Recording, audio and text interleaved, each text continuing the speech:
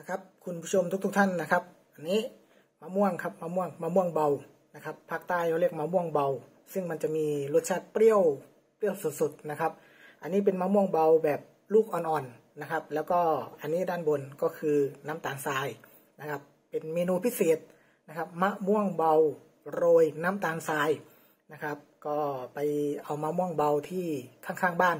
นะครับ มันอยู่หน้าบ้านมะม่วงเบาอ่อนๆนะครับผ่าซีก นะครับผ่าสองซีกหนึ่งลูกผ่าสองซีกนะครับ แล้วก็เอาเมล็ดออกนะครับ หลังจากนั้นก็โรยน้ำตาลเข้าไปนะครับ เป็นสูตรพิเศษนะครับ ถามว่ามันอร่อยไหมมันก็โอเค กินได้ครับอร่อยก็คือน้ำตาลความหวานจากน้ำตาลเนี่ยมันไปตัดความเปรี้ยวนะครับ มันก็จะได้รสชาติอีกรสชาติหนึ่งนะครับ มันคล้ายๆกับมะม่วงแช่อิ่มอะไรเงี้ยนะครับ ไม่แตกต่างกันเลยครับกับมะม่วงแช่อิ่มนะครับ ก็ ลองทำดูนะครับหลายๆคนบอกว่าใครจะไปกินแบบเหมือนมึงนะครับ ก็มีคนกินนะครับ แบบเนี้ยมีคนกินนะครับมะม่วงโรยด้วยน้ำตาลทรายนะครับ อันนี้เป็นน้ำตาลทรายขาวนะครับ หรือจะใช้น้ำตาลทรายแดงก็ได้นะครับ มันเป็นยาอีกรูปแบบหนึ่งนะครับมะม่วงโรยด้วยน้ำตาลทรายนะครับ ก็ลองลองดูก็แล้วกันนะครับ มันไม่เสียหายอะไรนะครับ มันเป็นยาด้วยนะครับ แล้วก็อีกอย่างหนึ่งก็กินแล้วก็อิ่มนะครับ เป็นยาจริง ๆ ด้วยนะครับ เป็นยาแก้หิว อืม นะครับ กับมะม่วงมะม่วงเบานะครับ โรยน้ำตาลทรายนะครับ ใส่น้ำตาลทรายเยอะๆ มันจะได้ไปตัดความเปรี้ยวนะครับ เราจะได้รสชาติแบบมะม่วงแช่อิ่มนะครับ ไม่แตกต่างกันครับ อันนี้มะม่วงเบาแบบอ่อนๆนะครับ ก็ขนาดพอดีพอคำนะครับ บางคนเขาจะกินมะม่วงเบากับกะปินะครับกะปิกะปิจืดอะนะครับ หรือกะปิแกงก็ได้แล้วแต่นะครับ แล้วแต่ความชอบของแต่ละคน หรือบางคนก็จะใส่จิ้มกับ น้ำปลาหวานนะครับ หรือบางคนก็จะกินมะม่วงเบากับกับเกลือ หรือกับพริกเขาเรียกอะไรนะพริก ที่มันใส่ใส่น้ำตาล ใส่พริก ใส่เกลือเขาเรียกอะไรนะอะไรอะไรพริกพริกอะไรแล้วนะครับ ของอันเนี้ยหรือจะทำน้ำปลาหวานก็ได้แล้วแต่นะครับ แล้วแต่ความชอบของแต่ละคนนะครับ เพราะฉะนั้นก็อันนี้เรามากินมะม่วงเบาโรยน้ำตาลทรายนะครับ จะได้รสชาติได้อัตรสอีกรูปแบบหนึ่งนะครับ ก็ลองดูครับ ไม่เสียหายอะไรนะครับ อิ่มด้วยนะครับ เป็นยาครับยาแก้หิวยาแก้เหนื่อยนะครับ มันฟินมันฟินนะครับอืม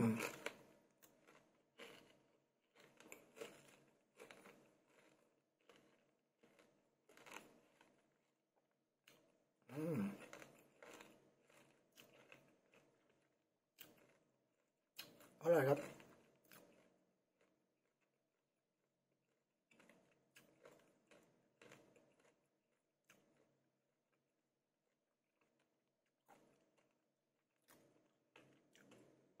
อันเนี้ยมะม่วงเบาเนี่ยขอบ ขอบที่เป็นสีเขียวๆเนี่ยเปลือกเขาเรียกเปลือก เปลือกมะม่วงมันมีความหนาอยู่นิดนึงนะครับ มันมันค่อนข้างที่จะอ่อนอ่อนๆอยู่นะครับ มันก็เลยทำให้เปลือกเนี่ยมันอาจจะออกฝาดฝาดนิดนึงนะครับ ความเปรี้ยวมันก็มีอยู่ระดับหนึ่งแล้วแหละนะครับ พอเราโรยน้ำตาลเข้าไปเนี่ยความหวานจากน้ำตาลมันก็จะไปตัดความเปรี้ยวนะครับ ได้ได้ได้ได้ความอร่อยอีกรูปแบบหนึ่งนะครับ คุณผู้ชมก็ลอง ลองทำดูก็แล้วกันนะครับ แล้วแต่แล้วแต่ว่าใครจะจิ้มกับอะไรนะครับ หรือบางคนก็อาจจะไปจิ้มกับผงรสดีนะครับ หรือบางคนอาจจะไปจิ้มกับผงของอเครื่องปรุงมาม่านะครับ ที่เป็นรสต้มยำกุ้งอะนะครับ ก็แล้วแต่ความชอบของแต่ละคนนะครับ ได้หมดครับ มันคือความอร่อยนะครับ มันคือความอร่อย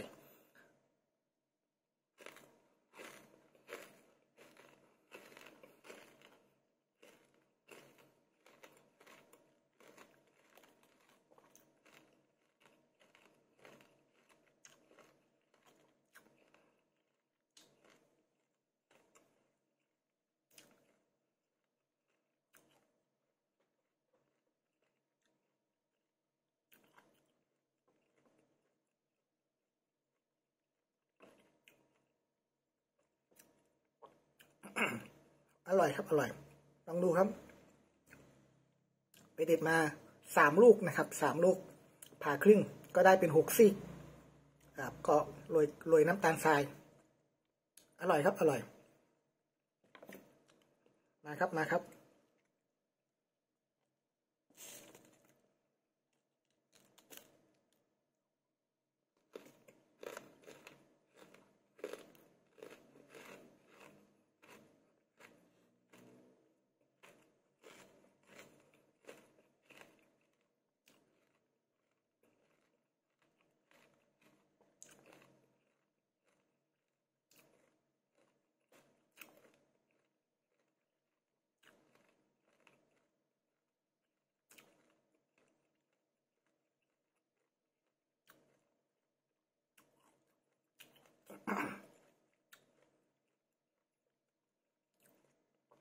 บอกได้คำเดียวว่าฟิน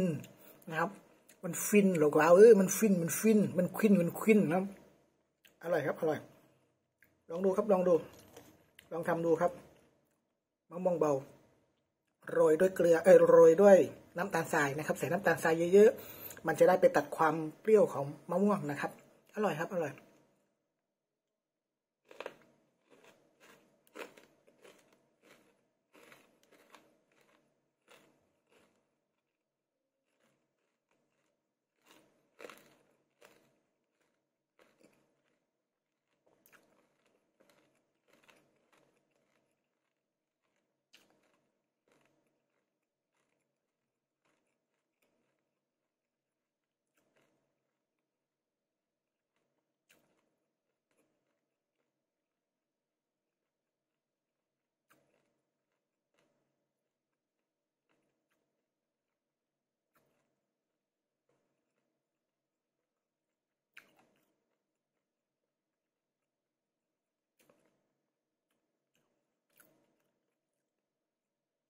อร่อยดีครับ อร่อย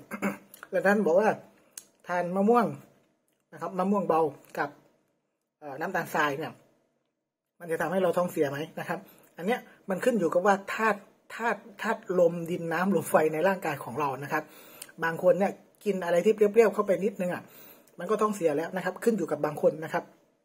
ขึ้นอยู่กับธาตุของแต่ละคนนะครับ ส่วนผมกินก็ปกติครับ ไม่มีอะไรนะครับ บางคนทานส้มตำก็ท้องเสีย บางคนทานมะขามก็ท้องเสีย อันนี้แล้วแต่ธาตุของแต่ละคนนะครับ แต่อันนี้อร่อยครับฟินควินควินควินมันควินหรือเปล่าเออ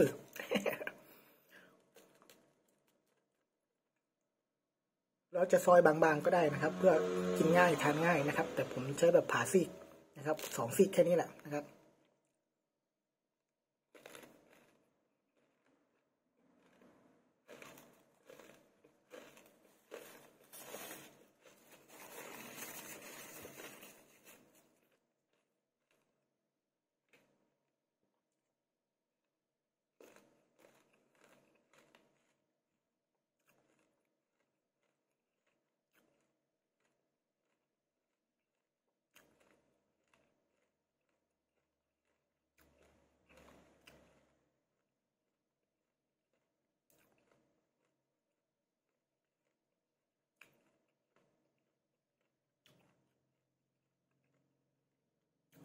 เปลือกมันหนานิดนึงนะครับ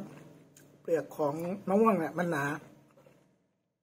มันจะมีความฝาดอยู่นิดนึงนะครับ แล้วก็มันจะมียางยางมะม่วงอยู่นิดนึงด้วยครับ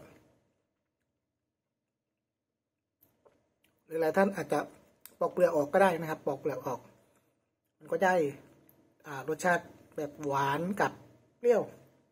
นะครับ มันจะได้ไม่ฝาด เพราะว่าถ้าเปลือกเนี่ยมันจะหนานิดนึงมันจะฝาดนะครับ มีฝาด ชิ้นสุดท้ายครับ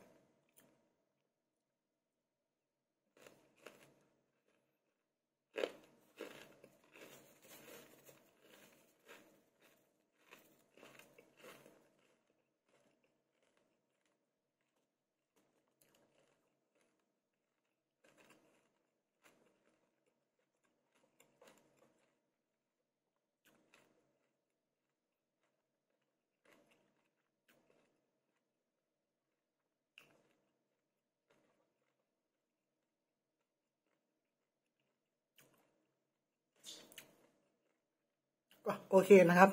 มะม่วงเบากับน้ำตาลทรายนะครับ ก็อร่อยไปอีกแบบหนึ่งนะครับ ก็ลองทำดูครับ